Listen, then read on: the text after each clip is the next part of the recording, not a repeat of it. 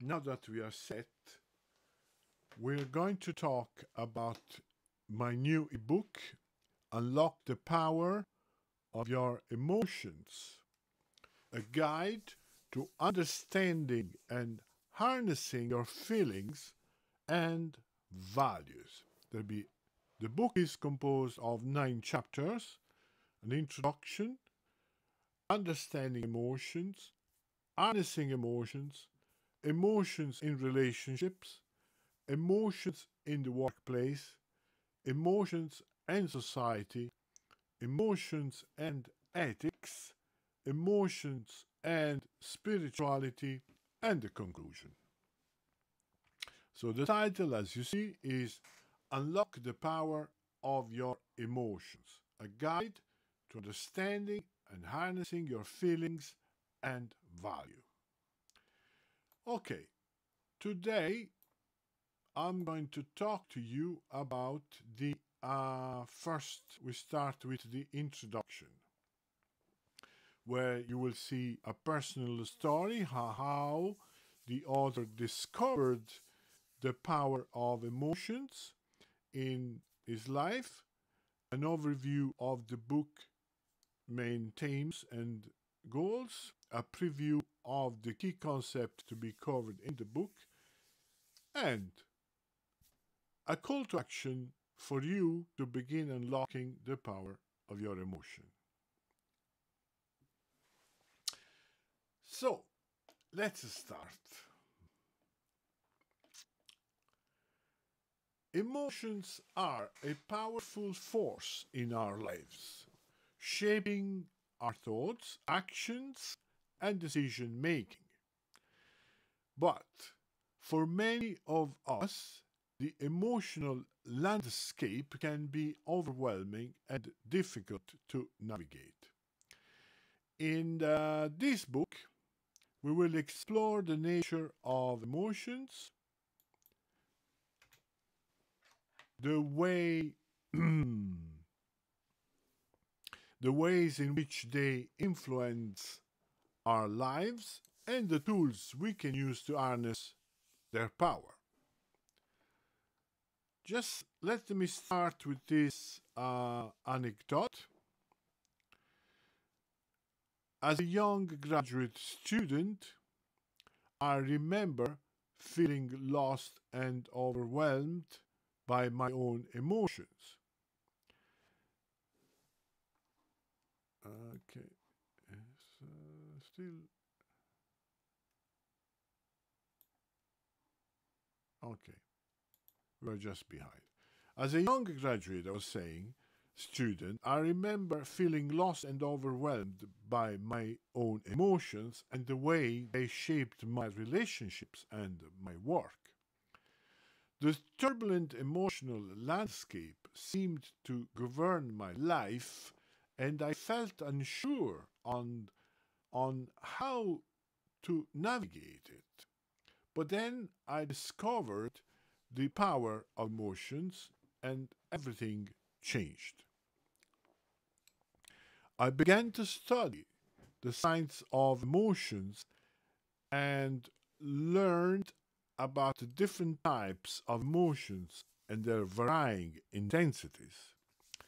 I discovered the connection between emotions and value and importance of emotional self-awareness and self-regulation in ethical decision making.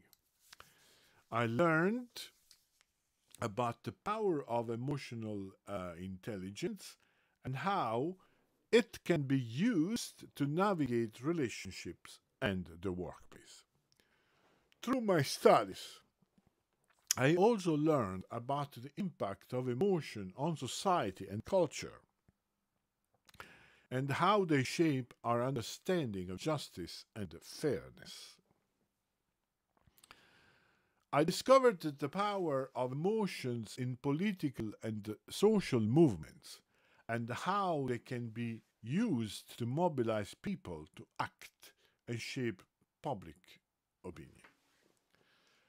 As Ralph Waldo Emerson says, the eye is the first circle The horizon which it forms is the second, and throughout nature this primary figure is repeated without end. This realization opened my eyes to the vast and intricate landscape of emotions and how they shape our lives. I realized that emotions are not something to be feared or avoided, but rather something to, to embrace and understand. I realized that by learning to understand and manage my emotions, I could harness the, their power to build the life I wanted. The, this realization was a turning point in my life, and it is my hope that this book will empower others to do the same. The first time I began to understand the nature of emotions and how they shaped our thoughts, actions, and decision making. I discovered the power of emotional self awareness and self regulation, and I learned how to harness the power of my emotions to achieve my goals and build the life I wanted. In this book, I will share the insights and tools that I have learned through my own research and personal experience. We will explore the different types of emotions and their varying intensities, the connection between emotions and values, and importance of emotional self-awareness and self-regulation regulation in ethical decision making. We will also delve into the role of emotion in relationships, the workplace, society, and spirituality. We will explore the impact of um, emotions on productivity, leadership, and decision making, and how emotions shape our understanding of justice and fairness. Just give a second.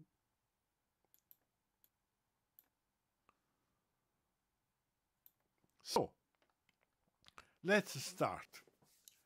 Understanding emotions. The value, role, and importance of human emotions is a topic of much debate among scholars and experts in the field. Some argue that emotions play an essential role in human experience, shaping our cognitive process, our behavior, and our decision making. Theorists such as William James and uh, Carl Lange proposed the James Lange theory of emotions which posits that emotions are a physiological response to a given situation. This theory, along with the Cannon-Bard theory proposed by Walter Cannon and Philip Bard, which argues that emotions and physiological responses occur simultaneously, so this theory, to, along with the other theory, of Cannon-Bard demonstrate the integral role of emotions in shaping our perception of the world and guiding our actions toward the attainment of specific goals. On the other hand, some experts argue that emotions can be a hindrance to rational thought and decision making. They argue that emotions can cloud our judgment, leading us to make poor decisions or act impulsively. Emotion can also lead to conflicts and misunderstanding in relationship and can negatively impact our productivity and job performance in the workplace. Despite this, it is undeniable that emotions play an integral role in human experience. They are a vital component of human motivation and serve as a catalyst for artistic expression and fostering a sense of connection and meaning in our lives. However, it is important to recognize that emotions can also prove to be a source of confusion and difficulty for individuals as they may struggle to comprehend the intricacies of their emotional landscape and the way in which emotions shape their thoughts, actions, and relationship with others. so, understanding and managing emotions effectively is crucial for leading a healthy and fulfilling life.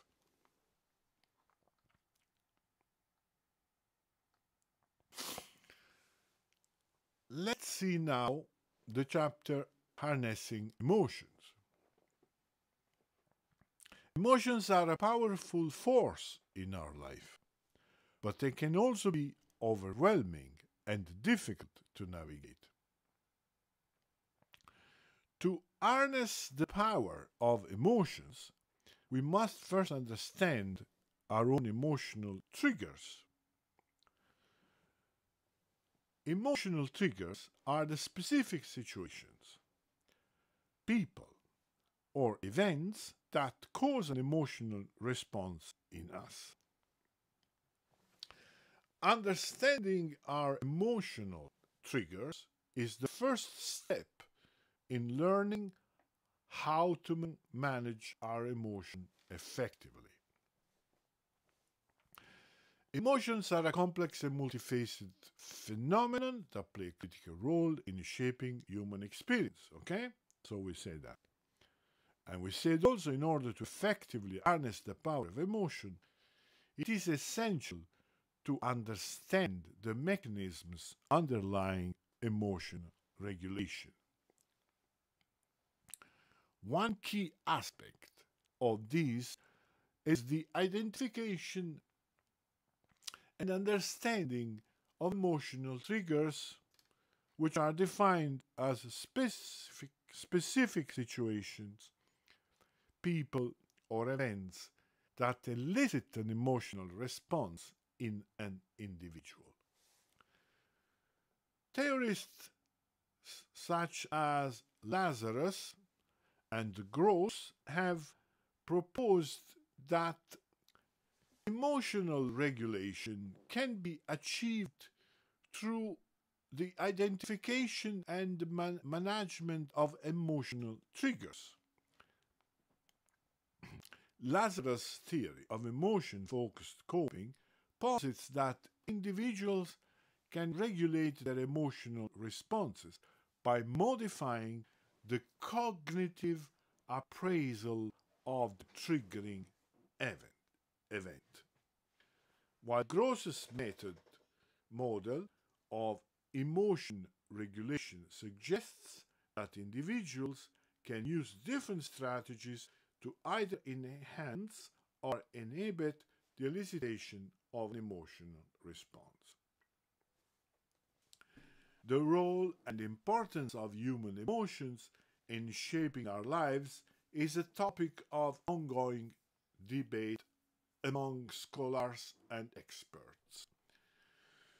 Some argue that emotions are an essential aspect of human experience, allowing us to connect with others, navigate complex and social interactions, and make sense of our environment.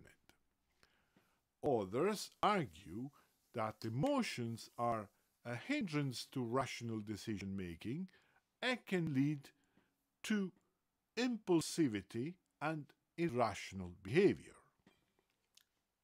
Okay, we, we report Lazarus again, who states emotions is not just a feeling. Emotion is not just a feeling, but also a process that involves cognitive appraisal, physiological changes, and behavioral or expressive responses. Now, please try to understand this is very important. The components of emotion involves cognitive appraisal, so the thought, the thinkings, the thinking we do when we feel that emotion. The physiological changes, so the bodily changes accompanied with that feeling. And the behavior and the expressive or the expressive responses to that. So there are three components cognitive appraisals, physiological changes, and behavioral or expressive responses. This highlights the importance of understanding the full process of emotions and how they can be regulated through cognitive appraisal and management of emotional triggers. Now, let me tell you a story. I remember the time when I was going through a difficult breakup. The emotions I felt were overwhelming, and I found myself struggling to cope. I would constantly replay the past events in my head. I would get triggered by things that reminded me of my ex partner. Every time I heard the song that we used to listen to together, or saw a place we used to go, I would get hit with a wave of sadness and anger. These were my emotional triggers. But then I realized that I could continue living my life. I could not continue living my life in this way. So I decided to take control of my emotions. I started by identifying my emotional triggers and writing them down, and this helped me to become more self aware and understand the patterns that shape my emotional experiences. I also began to develop develop techniques for regulating and managing my emotions in the moment, such as deep breathing exercises, mindfulness practices, and journaling my feelings. Over time, I was able to understand. One moment. Over time, I was able to understand my emotional triggers sorry, and learn how to manage my emotions effectively. I no longer felt overwhelmed by emotions. What was I was able to move to move on from the breakup. I was able to build a new life for myself, and I realized that understanding my emotional triggers was the first step in harnessing the power of my emotions. One way to identify our emotional triggers is to keep a journal and record, record our feelings and the situations that cause them. This can help us to become more self aware and to understand the patterns that shape our emotional experiences. For example, you might notice that you feel anxious when you are in large crowds or that you feel angry when you are criticized. By identifying your emotional triggers, you can begin to anticipate them and take steps to manage your emotion in, in the moment. So, we have said that emotions are a complex and multifaceted phenomenon that play a vital role in shaping human experience. Theorists such as Richard Lazarus have emphasized the importance of emotional self awareness in understanding and managing our emotional experience. One key aspect of emotional self awareness is the ability to identify our emotional triggers, the specific situations, people, or event that elicit emotional responses in us. As Lazarus states, emotion is not a thing that happens to us, but rather something we do. Okay, end of quote. One way to achieve this level of self awareness is through the practice of journaling. However, this approach has been also subject to debate. Critics argue that journaling can be overused and can make people more self conscious, leading to more negative emotions. Furthermore, it is argued that journaling is not always the best way to identify emotional triggers and that other methods, such as therapy or self reflection, might be more effective. Okay, let's recap. The ability to identify and understand our emotional triggers is a crucial aspect of emotional self awareness and effective emotional management. While journaling can be a useful tool in this process, it is important to consider other methods as well and weigh the pros and cons before making a decision. So, once we understand our own emotional triggers, we can begin to develop techniques for regulating and managing our emotion in the moment. These might include deep breathing exercises, mindfulness practices, or other forms of relaxation. For example, deep breathing can help to calm the body and the mind in the face of intense emotions, while mindfulness practices can help to focus the mind and increase self awareness. In addition to regulating our emotion in the moment, we can also cultivate positive emotions and build emotional resilience. This might involve engaging in activities that bring us joy, practicing gratitude, or developing positive relationships. For example, spending time with loved ones, practicing a hobby, or volunteering can all help to boost feelings of happiness and fulfillment, while practices like gratitude journaling can help to cultivate positive emotions over time. One of the most important aspects of harnessing emotion is the connection to ethical decision making. Emotional self awareness and self regulation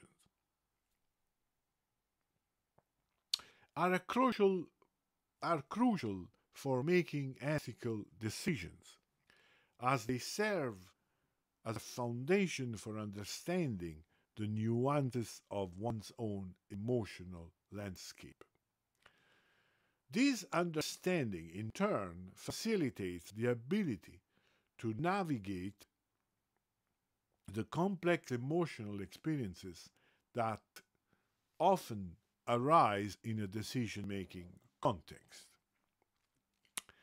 Theorists such as Daniel Goleman and his concept of emotional intelligence posit that the ability to recognize, understand, and manage one's own emotions as well as the emotions of others is essential for making ethical decisions. However, there remains ongoing debate on the role of emotions in ethical decision making, with some positing that emotions can cloud rational judgment and lead to impulsive or unethical behavior. As philosopher Martha Nussbaum states, quote, the emotions are not the opposite of reason. They are part of the necessary background that makes reason possible. End of quote. Uh, for example, when we are in the grip of strong emotions, such as anger, it can be difficult to think clearly and make ethical choices. By learning to regulate our emotions, we can make more thoughtful and reasoned decisions. This can also help to prevent emotional reactions that might be harmful to ourselves or others. I remember the time when I was working as a manager at a large corporation. One day, one of my employees came to me with a proposal for a new project that would benefit the company in long term, but would require a significant investment up front. I was excited about the potential of the project and wanted to move forward with it. However, my emotions got the best of me, and I became anxious and stressed about the financial risk involved.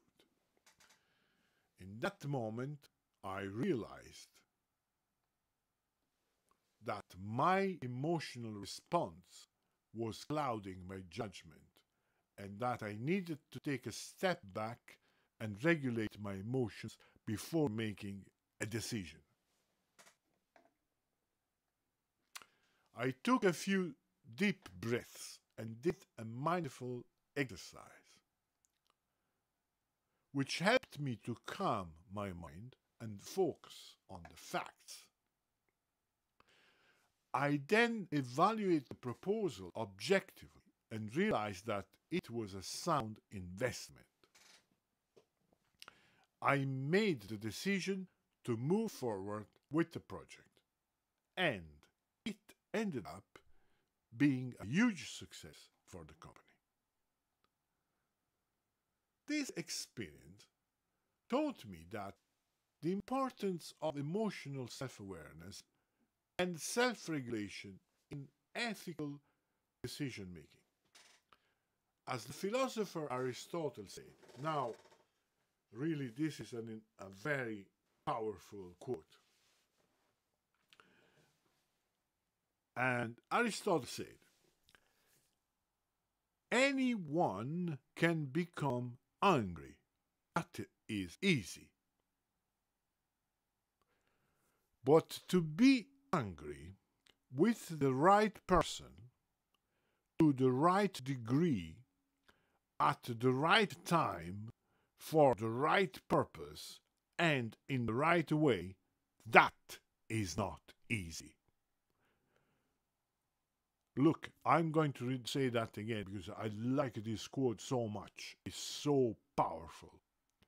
And understanding this quote will empower you anyone can become angry. That is easy. But to be angry with the right person, the, to the right degree, at the right time, for the right purpose, and in the right way, that is not easy. Look, meditate on this one. By learning how to manage our emotions, we can make more thoughtful and reasoned decisions and act in ways that are fair and just. To sum up, harnessing emotions is a continuous process that requires self awareness, emotional intelligence, and strategies to manage emotions. Understanding our emotional triggers, developing techniques to regulate emotions, cultivating positive emotions, and building emotional resilience are all key components of harnessing emotions. Moreover, emotional self-awareness and self-regulating self-regulation are crucial for making ethical decisions, which is the foundation of creating a more just and fair society. Right, that was not a short video. I want to introduce you to my new ebook about unlocking the power of your emotions. This ebook is available to download straight away from amazon.com. I put the link in the at the bottom of this video. You can use that link to access the uh, page where you can from where you can download download this book which I assure you it will give you so much insights on how to understand emotions and how to manage emotions and how to become a better person that you will thank me later. Do not miss this opportunity to make, to offer yourself the best tool to improve your life. Thank you very much for watching and have a good read.